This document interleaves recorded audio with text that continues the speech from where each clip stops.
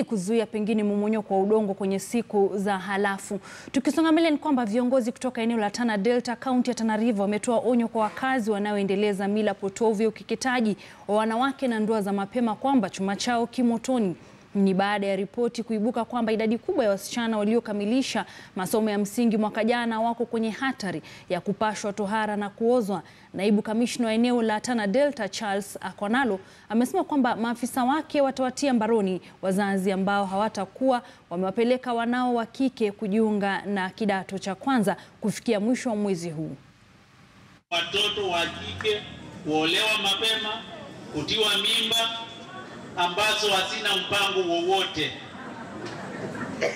Ingehimiza wale ambao wanahusika na mambo kama yale, basi watiwe ndani na mkondo wa sheria utumike. Tuna wanawake wengi ambao ni wamesoma, wameelimika na ni wakubwa kwa nchi hii. Sasa kama wangefanyiwa yale, basi hiyo elimu wangepata. Hakuna yule amepata maksi ya chini ama nini, wote rais amesema waende 100% transition, that is a presidential directive.